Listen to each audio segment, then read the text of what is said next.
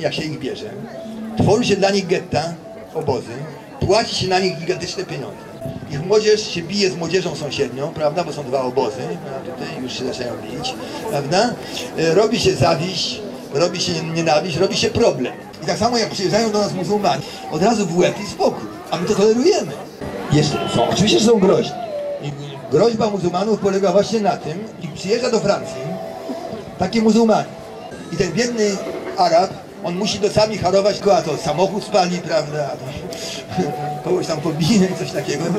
W normalnym ustroju nikt by ich nawet nie zauważył.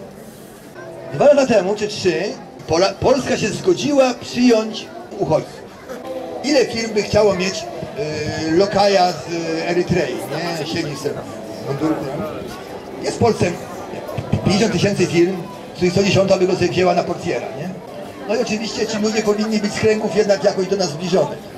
Jakbym nie brał murzynów, prawda, nie brałbym tego, bo to jednak jest y, groźne. Także nie muszą nam muzułmanie y, mówić, co mamy robić z naszymi kobietami, prawda? Sami to wiemy. Kobiety nie powinny pokazać włosów, prawda? Bo włosy powołają mężczyzn do grzesznych myśli, więc włosy kobiece powinny być zakryte. No. Syrii to akurat mam dobry stosunek, bo to są akurat wzięte są chrześcijanie, znowu chrześcijanie uciekają przed, przed tymi islamistami. Natomiast ogólna technika jest jedna, wie pan to co mówił Stefan Kisielewski, socjalizm jest to ustrój, w którym bohatersko pokonuje się trudności nieznane w żadnym innym ustroju.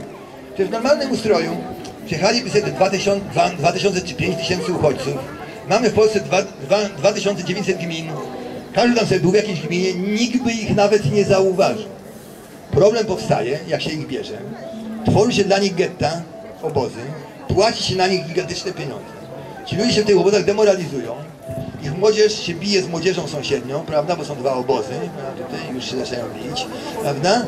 E, Robi się zawiść, robi się nienawiść, robi się problem. Prawda? Nie byłoby żadnego problemu, gdy Państwo... Jeszcze jedna sprawa ważna. Nie wolno dawać żadnych zasiłków. Bo jeżeli zaczniemy dawać zasiłki, to zwalają się ludzie na zasiłki.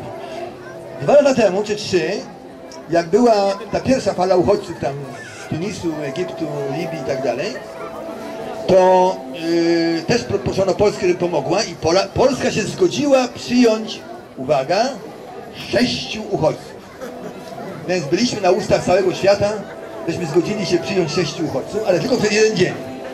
Bo na drugi dzień wszystkich sześciu powiedziało, że do Polski nie przyjadą, bo u nas zasiłki za małe. Trzeba po prostu nie dawać żadnych zasiłków i już. Jak ktoś rzeczywiście chce być, niech pracuje. Czy Lenin jak był y, w Szwajcarii, czy Marx jak uciekł do, do Londynu, to on dostał jakieś zasiłki? Nie, musieli pracować, nie? Dlaczego mam dawać zasiłki tym ludziom? Z jakiej racji? A no niech pracują. Gdyby przyjechało do Polski 2, 3 czy nawet 5 tysięcy ludzi, by się rozbili po Polsce, zaczęli pracować, nie? Ile firm by chciało mieć y, lokaja z y, Erytrei, nie? Siedzi Jest w Polsce 50 tysięcy firm, z których 110 by go sobie wzięła na portiera, nie? I nie byłoby żadnego problemu. A jak się go umieścimy w obozie na niego pracujemy, to to jest problem. No i oczywiście ci ludzie powinni być z kręgów jednak jakoś do nas zbliżonych. Jakbym nie brał murzynów, prawda, nie brałbym tego, bo to jednak jest y, groźne.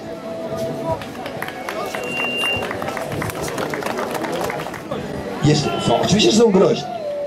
Groźba muzułmanów polega właśnie na tym, że im się daje zasiłki. I, i przyjeżdża do Francji taki muzułmanin. On ma cztery żony, ale w świetle prawa francuskiego to tylko pierwsza żona jest żona, pozostałe są to matki nieślubnych dzieci. Dostają takie zasiłki na nieślubne dzieci i ten biedny Arab, on musi nocami harować na to, żeby te zasiłki były jak najwyższe, prawda? No a w dzień to już tylko, a to samochód spali, prawda, a to kogoś tam pobije, coś takiego. Nie musi pracować, bo rząd francuski płaci mu zasiłki, nie, nie ma co robić. Jakby musiał pracować ciężko, to mu te rzeczy by się wybiły z głowy. Prawda? No niestety, my demoralizujemy tych ludzi. Zasiłkami ich ściągamy do siebie, zasiłkami ich demoralizujemy, a potem mamy pretensje, że łazi jakaś hołota, prawda, i, i, i nam niszczy Europę. Sami sobie jesteśmy winni.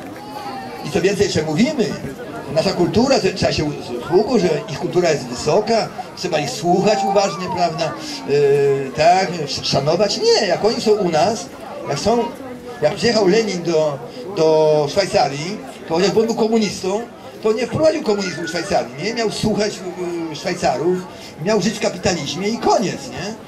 I tak samo jak przyjeżdżają do nas muzułmanie, to niech im nawet do głowy nie przyjdzie, że będą jakiś szariat wprowadzać, prawda? Od razu w łeb i spokój. A my to tolerujemy. A my to tolerujemy. Naprawdę i mówimy, no może coś w tym jest, prawda, a może ten szariat coś dobrego. No, przepraszam bardzo, coś dobrego, to można wyjechać do krajów arabskich i żyć w szariacie. A jak oni przyjeżdżają do nas, to mają się do nas dopasować, nie? Jest taki filmik, biega w internecie, który pokazuje, jest taki właśnie obóz dla uchodźców. I w tym obozie dla uchodźców są Czeczeni i Ukraińcy. I taki Czeczen mówi do Ukraińca, po rosyjsku oczywiście, mówi do niego, dlaczego twoje dziecko chodzi w krót... twój synek chodzi w krótkich spodenkach? Bo to muzułmanie uważają, że... A no mówi, Polska to jest wolny kraj, a nie, jak my tu muzułmanie jesteśmy, to muszą być przestrzegane e, reguły, które Bóg nam nakazał, prawda? Bo nie, nie, nie słyszałem, że Bóg nakazywał chodzić w długich spodniach komukolwiek, ale, ale, ale oni, oni tak mówią, że można nie powinien pokazywać nóg. No i już. Kobiety nie powinny pokazywać włosów, prawda? Bo włosy powołają mężczyzn do grzesznych myśli, więc włosy kobiece powinny być zakryte. No. I oni narzucają to nam. No, myśmy już przywykli do tego, że kobiety pokazują włosy i potrafimy przeżyć z kobietami pokazującymi włosy, prawda? I, i, i, i jesteśmy na to odpornieni. Także nie muszą nam muzułmanie y, mówić, co mamy robić z naszymi kobietami, prawda? Sami to wiemy.